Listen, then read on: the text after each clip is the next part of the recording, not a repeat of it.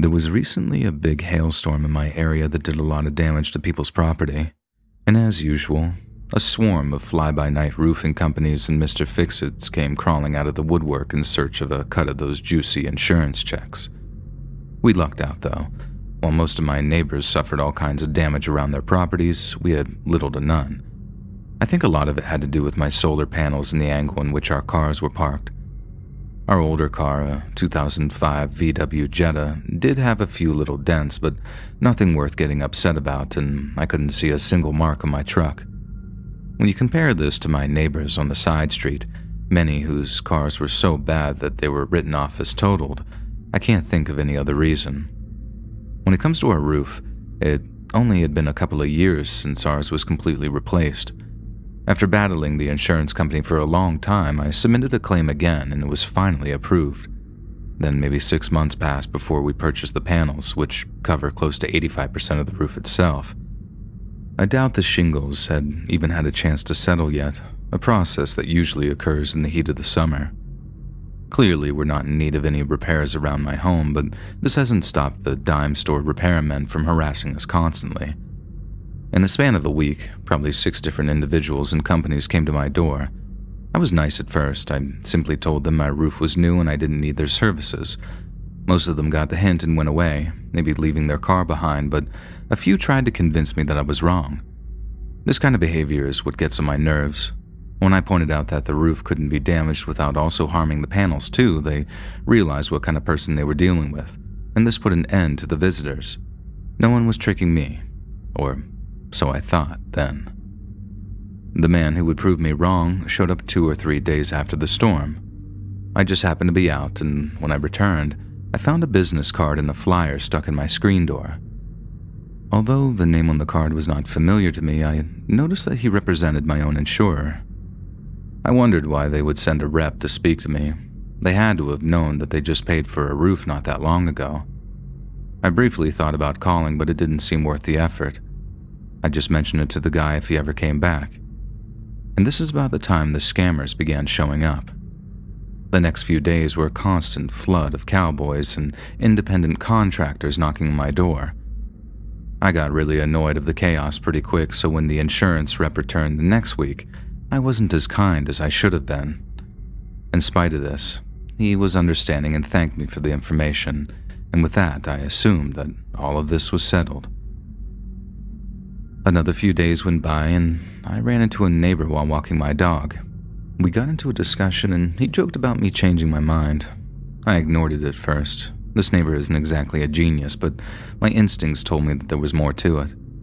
I asked him to clarify his meaning, and he told me that he had seen a man with a ladder and clipboard around my property and spoken to him earlier in the day. His description of the man sounded very similar to this insurance rep, and this made me furious, seeing as he knew the situation and had no reason to be there, especially while I was at work. I cut the walk short and returned home. He owed me an explanation, and I wanted it right then. I called the number on the card and was connected to the main operator. When I asked to speak to him, she hesitated a moment before transferring me. After briefly being on hold, a female voice came on and asked me again who I wanted to talk to. I told her the rep's name, and she informed me that the man had retired, and was no longer with the company. I assumed that she'd misheard me, so I spelled the man's name out to make sure that she hadn't, and she was adamant. He had retired over a year ago and could no longer help me, but if I needed assistance, she could help me instead. None of this made any sense. I was getting frustrated. Why was I being lied to?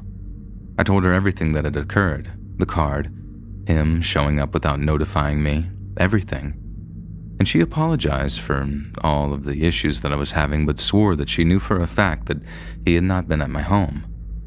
I was losing my cool now. It sounded like she was calling me a liar, and I demanded that she take it back. I was prepared to cancel my policy if she didn't, and she assured me that that was not her intention, and I could hear the reluctance in her voice and began to sense something strange was really going on. I prodded, I pushed, until she gave in and just told me.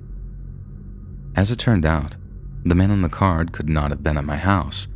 Not only had he retired almost two years ago, but he had been forced to do so because he had some terminal illness that had killed him not long after. Even after hearing all of this, I had a hard time accepting it. I foolishly asked for proof, and this is when she raised her voice. He and her had been close friends, I guess, since she had attended the funeral. I could hear her begin to sniffle and realize that, okay, maybe I'd gone too far. And I apologized and explained my level of confusion and concern. After speaking a little while longer, we concluded that it had been a man posing as an employee, possibly to appear more professional.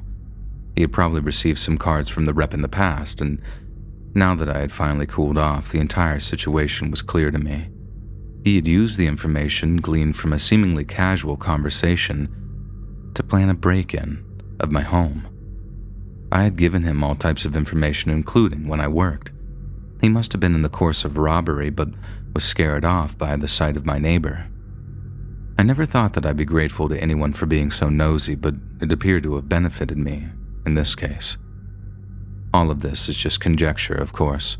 Without any proof of forced entry or the like, it's gonna have to do.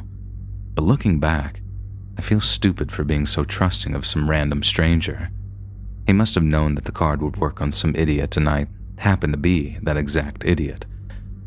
It also explains why he was so forgiving of my brashness. In light of what occurred, I no longer speak to strangers coming to my door for obvious reasons. I encourage anyone reading this, should they be so unfortunate to have severe weather in their area, be very wary of the people it attracts. I thought that I was wise to all the tricks, but they proved me wrong. If you didn't contact anyone to come to your home, they shouldn't be trusted.